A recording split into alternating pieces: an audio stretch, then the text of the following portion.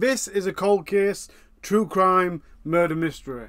So if you're commenting or sharing, please bear that in mind and use the appropriate sensitivity. So without further ado, let's get on with the story. Born on the 16th of December 1957, Jessie Earl was described as strong and independent. She was studying art at Eastbourne College of Art and Design, and she really enjoyed being around nature, just genuinely loved nature. She particularly liked to write about it. She loved walking on the Sussex coast, and her favourite place to walk was Beachy Head. Now, for those of you that don't know, Beachy Head is the highest chalk cliff in Britain. It's an absolutely beautiful place. There should be some pictures on now. Uh, for you listening on the podcast, just trust it is just beautiful white cliffs. And because Jessie enjoyed nature and she enjoyed the area of Beachy Head, she quite often just go there and sit and read. On Wednesday, the 15th of May 1980, obviously mobile phones weren't that much of a big thing, so Jessie used a phone box on the seafront of Eastbourne to phone her mom and tell her that she'd see her two days later on the Friday. But she never arrived on that Friday, and her parents, obviously Jessie's 22 at this time, and her parents thought she's probably changed her mind. And although she does contact us to tell her when she's not coming, she might have just forgot, she got too busy, or whatever else.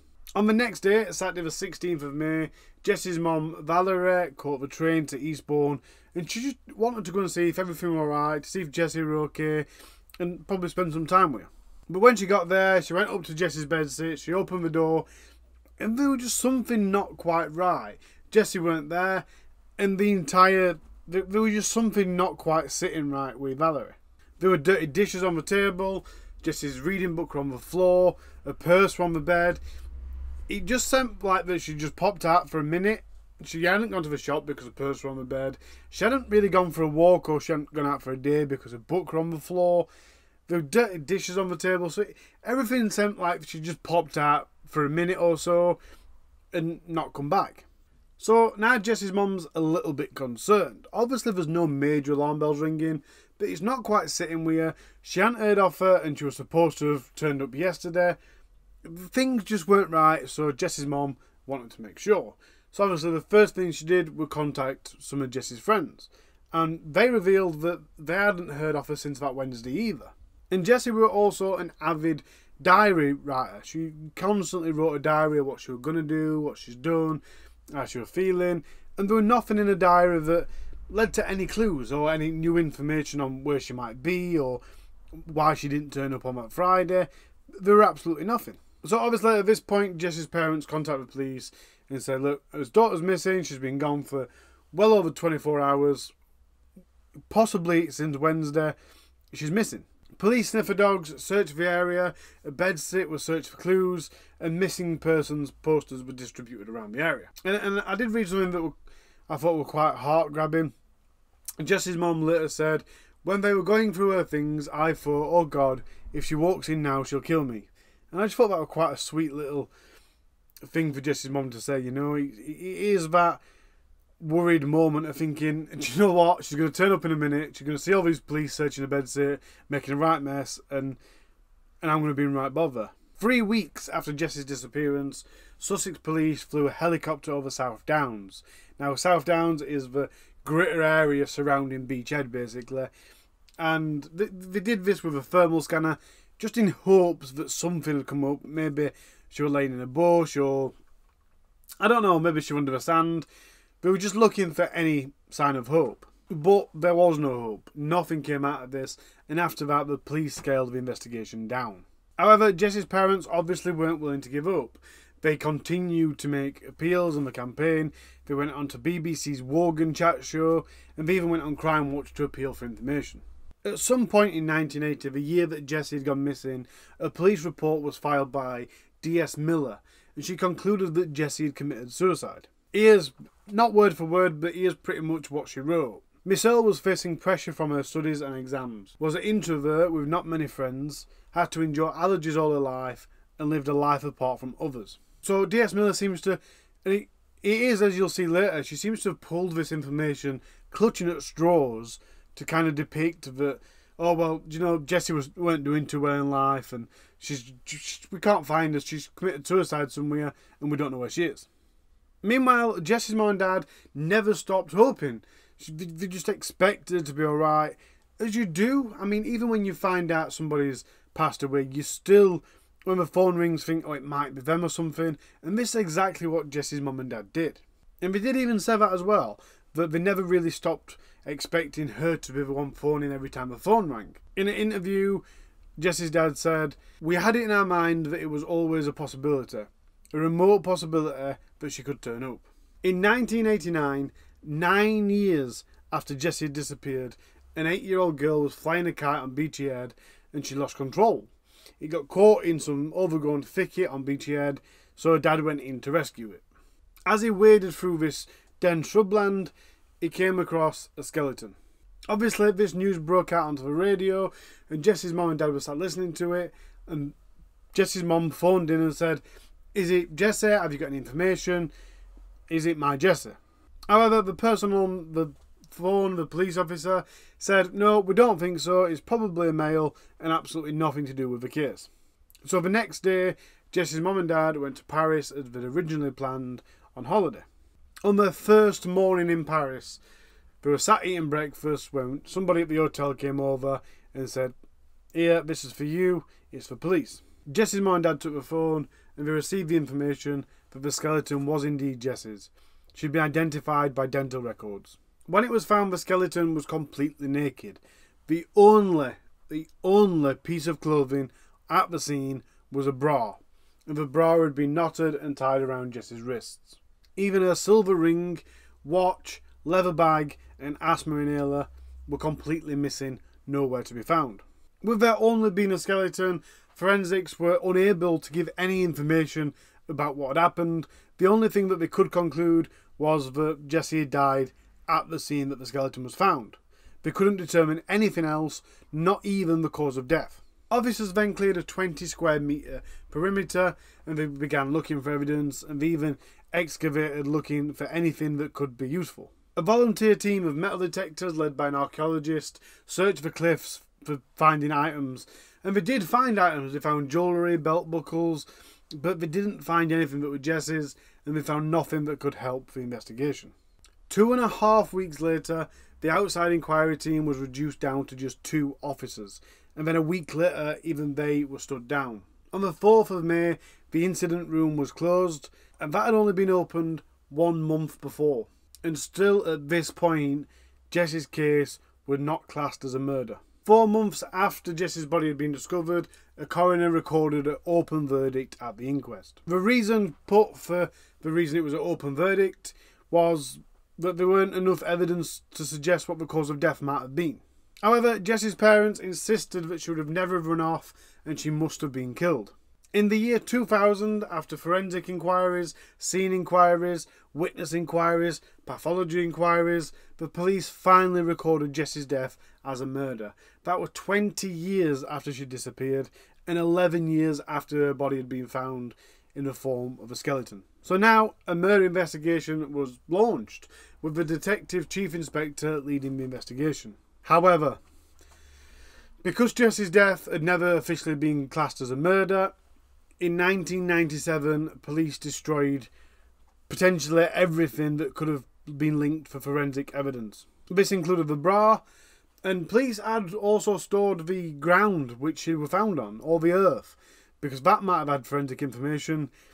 But even that, and even the bra, was now gone. The police had got rid of it in 1997. So, unlike all the other cold cases we look at, where there's still a glimmer of hope that modern forensic technology, DNA technology, will be able to lead to some sort of evidence.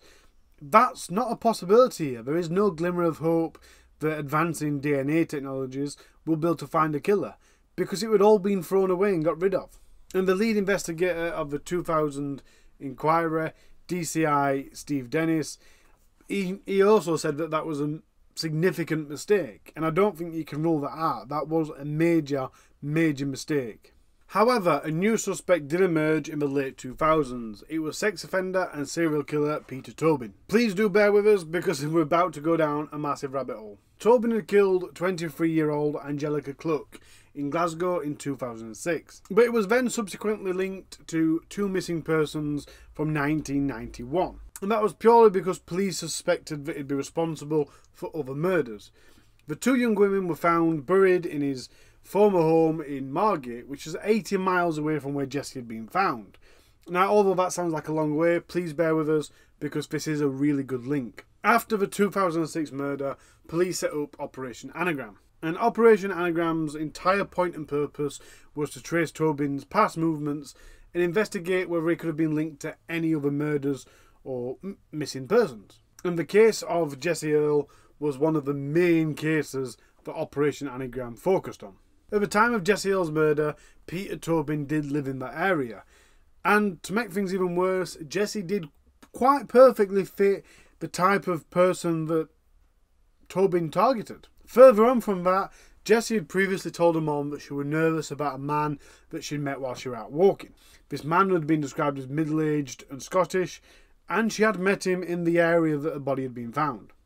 One of the last conversations Jessie had with her mom was about meeting this man at Beachy Head, and she also commented, I wish men would be prepared to be just friends. Shortly after it became public knowledge that Jessie Earl's body had been found in 1989, Peter Tobin very quickly got his wife and child and moved to Scotland. Now, let me just put that into context. I don't mean that it was coincidence and they were in a rush to move. I mean, shortly after it became public knowledge, Peter Tobin went home to his wife and said, Look, we have to move. We're moving up to Scotland. We're moving now. So he moved to Bathgate in Scotland, and I just want to put that into context as well because Eastbourne is on the southern coast of England and he went all the way up through England, past the rest of England, into Scotland. This is about 108, uh, 580 miles. He nearly went 600 miles away. Now, you could say that is just a coincidence, but Peter Tobin has quite a habit of moving across the entire country after he's murdered. For example, in 1991, a couple of years after that he'd moved to Bathgate, he then murdered 15 year old Vicky Hamilton. So then he went home, he got his wife and child and moved from Bathgate all the way down to Margate. Now, if you remember earlier on, I said Margate was 50 miles away from 80 miles away, sorry, from Eastbourne. So he'd come, he'd this body had been found at Jessie Earl's. He'd then moved 500 miles up north. Then he killed Vicky Hamilton, and then he moved pretty much all the way back down. It's probably 500 mile by road again, but it's ever so slightly more north and more to the west. So it does seem like it might have been something they'd have done. The body's been found, we need to move, we need to avoid being caught. There is another very important piece of information. If you remember back, Jessie had her hands tied together with a bra. That is also the same thing that happened to Vicky Hamilton. In Mark Williams Thomas's book Hunting Killers, he did notice that Tobin usually buried his victims, and although Jessie weren't buried, if there were another link that pretty much all of Tobin's victims were opportunistic killings, and that is what it seemed to be with Jessie. An example of that is in 1994, he trapped two neighbouring 14 year old girls in his flat before turning on the gas pipes and leaving them for dead. This indicates that he could have he weren't very organised in his crimes. He was very disorganised. There were random attacks, 100% opportunistic, and this is what he could have done to Jessie especially if he was the Scotsman that she described on previous walks. It could have been there again and used that opportunity to kill her. Because they disregarded all of Jessie's items, they had nothing to test for DNA. So, as a part of Operation Anagram, police took DNA samples from Jessie's mom and Jessie's dad, and then they went to Peter Tobin's house, got his belongings, got his clothes, and tried to find the DNA match that way. Obviously, that's not as easy and it's a lot harder to find a DNA match, and nothing came out of it. A DNA link between Tobin and Jessie's body could not be found. It just weren't possible. And obviously, it is speculated that that is purely because all of the evidence had been thrown away. A lot of people do believe, and I'm not going to lie, so do I, that if that DNA evidence hadn't been thrown away, we could have got something from that. Apparently linked to Jessie's murder is a similar case that Operation Anagram looked into, and that was the disappearance of 18-year-old Louise Kay. She was also from the same town, Eastbourne, and in 1988 she disappeared. And there was a lot of similarities. Not only was both young women from Eastbourne, but Kay's last known location was at Head. And again, that's where Jessie's remains were found. Kay had been out with her friends that evening and she dropped her friend off and said she was going to go and park a car on Beachy Head and sleep in a car. This was something she did quite often, and ever since then she was never seen. And up to this day, the body's never been found. And yes, Operation Anagram did find that Peter Tobin was still in the area at that time. So, if you're like me, you'll be thinking, well, what happened to a car? Surely th- this is something or nothing. But Kay's car was a distinctive Ford Fiesta. It was gold with a white door. And that also disappeared. But under Operation Anagram, police did find out that at the time of Kay missing, Peter Tobin was selling a hand painted small car. Similar to Jessie, Kay had met an unknown Scottish man in Eastbourne a few days before she vanished, and he'd given her some money for petrol. If you remember, some of Peter Tobin's previous victims had been found in his gardens, so police did search his Brighton home in 2010, hoping that Kay would be found buried in that garden, but she weren't. Operation Anagram's lead officer, Detective Superintendent David Swindle, told Williams Thomas in 2018, the investigator documentary, that he believes Tobin was Kay's murderer. But going back to Jessie Earl's story, in 2018, Sussex police stated that they had no evidence implicating Tobin or any other named or known individual in Jessie's murder. At this point, the case was once again cold. They had no lines of inquiry, and they were reviewing the case every two years, but obviously they had no lines of inquiry. Jessie's parents did believe that Peter Tobin could have been responsible for Jessie's murder. In June 2020, Jessie Earl's parents asked the Attorney General to open a new inquest. They said that Jessie's body had been found naked, so they'd always really known it had been a murder. Rt Hon Michael Ellis, QCMP, said, I have concluded the initial investigation was insufficient, and further lines of inquiry should have been pursued. It is in the interest of justice the application for a new inquest be heard by the High Court. In December 2021, the request for a new inquest was approved by the High Court. The second inquest into Jessie Earl's murder was opened in May 2022. It formally concluded that her death was a result of unlawful killing by murder. The hearing heard that she'd probably been tied to a tree and possibly sexually assaulted. An officer that was involved in the initial investigation testified that she never really had a doubt that Jessie had been murdered. And the coroner, James Healy Pratt, had a major role in this new inquest.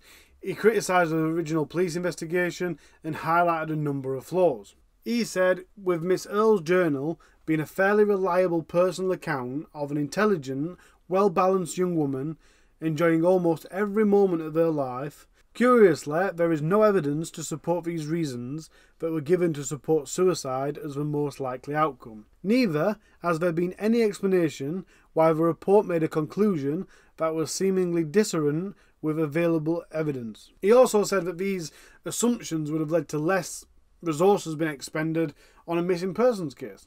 Instead, in other words, it would have been a chilling effect on police efforts to investigate the disappearance of Jessie. It concluded that the report treating her death as a suicide was wrong and contrary to evidence. It then went on to highlight one of the conversations that Jessie had with her mother in 1980, in which Jessie described meeting a middle aged man during one of her regular walks at Beachy Head. The one which she told her mother, I wish men would be prepared to just be friends.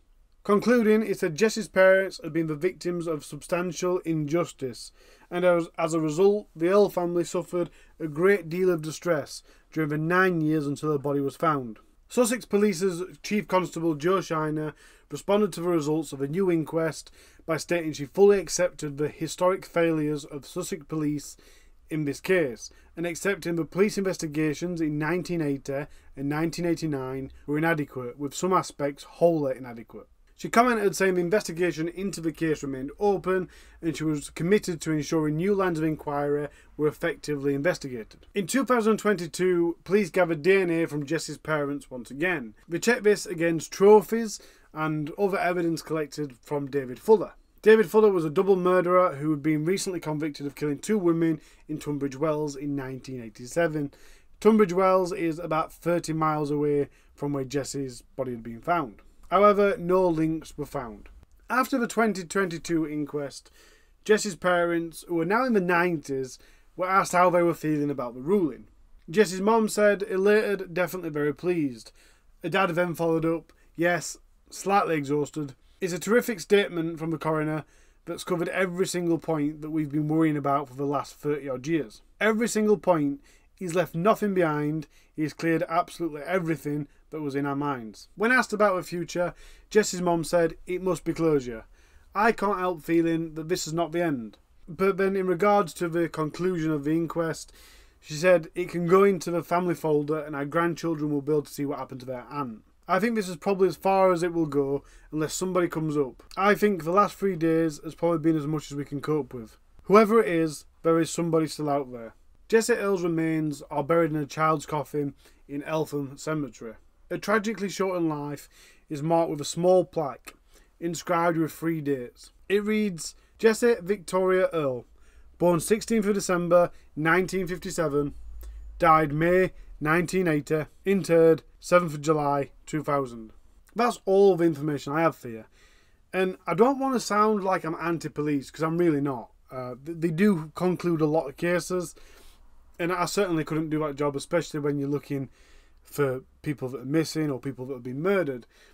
But if you look back at the cold cases I've done, they all result in if the police had or major mistakes that the police have made. Now, I know in hindsight that's so much easier to say. But I mean, this case in particular, if if she'd committed suicide, surely she'd been at the bottom of the cliff, or she'd have been hung, or she'd have been in a flat. The fact that she was just completely missing says to me you can't write it off as suicide. You can't hide your body after you've killed yourself.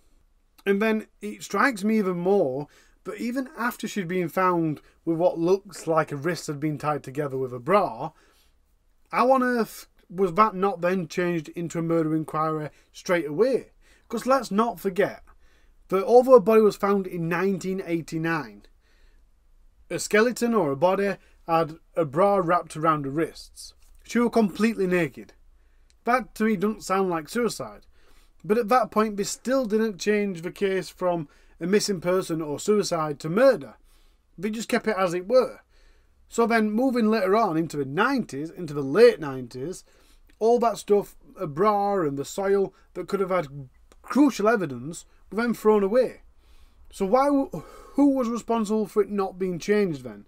Because if at any point it should have been changed into a murder case, it should have been then. And again, I'm not picking fault at the police. Like I said, I don't do the job. It's easier in hindsight. But I do think that that was more than just a mistake. That was a major cock up of whoever decided that that didn't need to be changing there and then. Or maybe it weren't decided, it was just overlooked and nobody changed it. But in, in my opinion, that bra could have had Peter Tobin's DNA on it or somebody else's DNA on it, and therefore it could have been found that that person murdered her. But that information will never be found because apparently a skeleton being found with its wrist tied together by a bra isn't enough to say somebody was murdered. And furthermore, I'd understand going out bodies naked. That's expected because she left all her clothes on a bedsit floor, but she weren't. So you, I just don't understand how these mistakes were made. And I think, I, I, I, promise I haven't tried to make it look like Peter Tobin was a person. Maybe the media has, um, and obviously that's where I get a lot of my information from. Although I do look, try to look as deep as possible for as much information as possible. But from everything that I could find, it does massively suggest that Peter Tobin did it. Unfortunately, unless he confesses to it, there's never ever going to be enough evidence to say he did it because we haven't got any DNA forensic evidence. It's just gone. And it is such a shame. It really is. And I don't think that's very fair on Jessie's parents, who, like I said, now in the 90s and still having to go to inquests and things about this.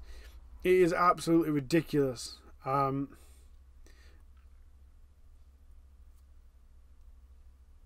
that's it that's it. That's all I've got for this show. Uh, I hope you enjoyed it. I hope you got something out of it. I hope it was educational.